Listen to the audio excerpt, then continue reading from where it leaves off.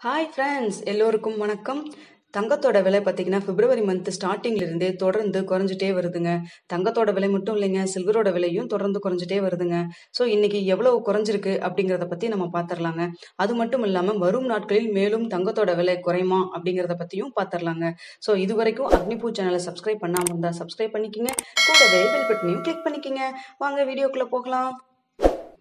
இன்று மாலை நிலவரப்படி வெள்ளியோட ரேட் என்ன அப்படிங்கிறத பார்த்துடலாங்க ஒரு கிராம் வெள்ளியோட ரேட்டு எழுபத்தி ரெண்டு ரூபாய் இருபது பைசா.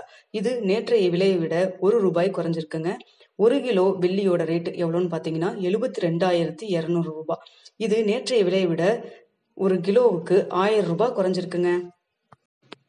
அடுத்தது கோல்டோட ரேட்டு இன்னைக்கு மார்க்கெட்ல எவ்வளோ அப்படிங்கிறத பார்த்துடலாங்க இருபத்தி நான்கு கேரட் தங்கத்தோடைய விலை ஒரு கிராமுக்கு நாலாயிரத்தி எட்நூத்தி அறுபத்தி ஏழு ரூபாய்.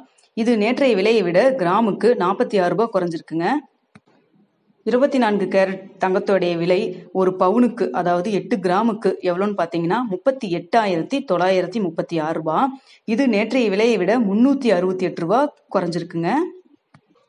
அடுத்தது டுவெண்ட்டி டூ கேரட் கோல்டோட ரேட் என்ன அப்படிங்கிறத பார்த்துடலாங்க இருபத்தி ரெண்டு கேரட் தங்கத்தோடைய விலை ஒரு கிராமுக்கு நாலாயிரத்தி நானூற்றி எண்பத்தி மூணு ரூபா.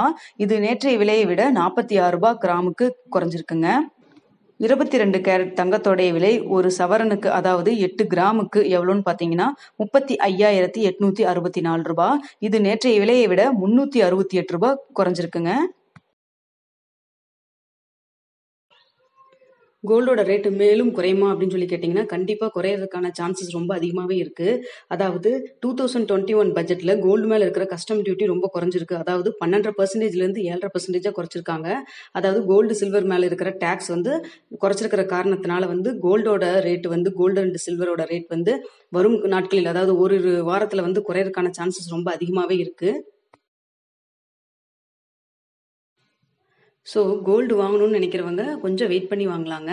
ஏன்னா இதை விட ஒரு பெட்டர் ப்ரைஸ்க்கு வாங்குறதுக்கு சான்சஸ் ரொம்ப அதிகமாகவே இருக்குங்க. ஓகே வியூவர்ஸ் உங்களுக்கு இந்த வீடியோ யூஸ்ஃபுல்லாக இருக்கும்னு நினைக்கிறேன். பிடிச்சிருந்தா லைக் பண்ணுங்கள் ஷேர் பண்ணுங்கள் மறக்காமல் சப்ஸ்கிரைப் பண்ணிக்கோங்க. கூடவே இருக்க பெல் பட்டனையும் கிளிக் பண்ணிக்கோங்க. அப்போ தான் நான் போடுற வீடியோ உங்களுக்கு உடனுக்குடனே கிடைக்குங்க.